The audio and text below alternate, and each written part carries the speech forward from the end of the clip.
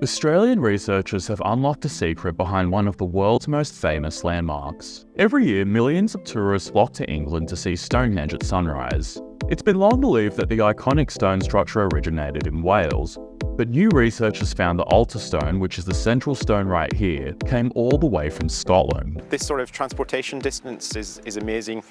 Uh, it looks like a, a, sandstone rock that's micaceous, so it's a little bit glittery. Uh, you would think, oh wow, there's rocks like this in pretty close to here. I would have expected it to come from there, but no, absolutely gobsmacked. It's, it's definitely Scottish. This discovery was made by analysing the altar stone's chemical makeup. The sarsen stones were brought from Marlborough Downs in Wiltshire, while the smaller blue stones came from the Preseli Hills in the northwest. But the altar stone came from the Orcadian Basin, a whopping 750 kilometres north of Stonehenge. This changes everything we know about history. The stone is some 5,000 years old, which could indicate that transportation methods were much more advanced than we currently understand.